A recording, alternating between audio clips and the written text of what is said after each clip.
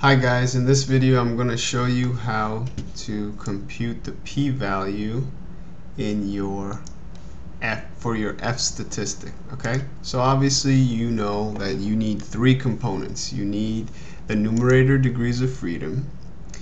You got you need your denominator degrees of freedom. You need your actual f statistic that you've computed from the data and you want to get the p-value for the test to know whether you should accept or reject. Now you have your alpha set to either 0.1, 0.05, 0.01 or some other arbitrary alpha.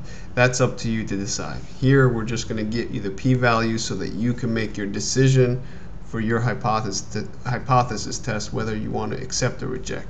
So we're going to use a function in Excel that gets you the tail probability of the F, F distribution given these three components. Okay, so let's start it. Equals F dist, that's the function.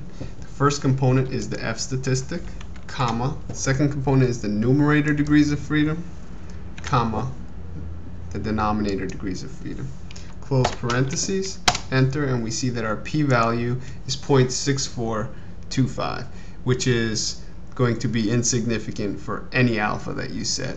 So it's safe to say that no matter what context you're using this for you're going to fail to reject or not reject the null hypothesis okay? So again it's the formula the function that does this is f dist f dist you have to give it the f statistic, the numerator degrees of freedom, and the denominator degrees of freedom, and it will give you the probability of getting a value as large or larger than this particular f statistic that you've computed, okay? Which is, by definition, what the p-value is, okay? So, make sure to check out my other Excel, Access, PowerPoint, Math, and Statistics R as well tutorial videos on my channel.